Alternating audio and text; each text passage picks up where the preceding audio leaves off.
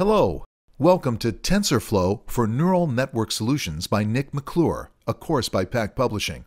I am Doug Stevens, and I'll be the presenter for this course.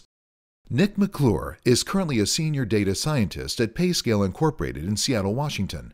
Prior to this, he has worked at Zillow and Caesars Entertainment. He has a passion for learning and advocating for analytics, machine learning, and artificial intelligence. Nick occasionally puts his thoughts and musings on his blog from data.org or through his Twitter account at the rate NF McClure.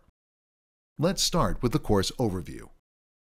We will begin this course with neural networks, which covers how to implement neural networks in TensorFlow. We'll then move on to natural language processing that illustrates various text processing techniques with TensorFlow. We'll get introduced to neural network text representations with CBOW and skipgram. Section 3, Convolutional Neural Networks, expands our knowledge of neural networks by illustrating how to use neural networks on images with convolutional neural networks. Later, in recurrent neural networks, we'll see how to implement recurrent neural networks RNNs in TensorFlow.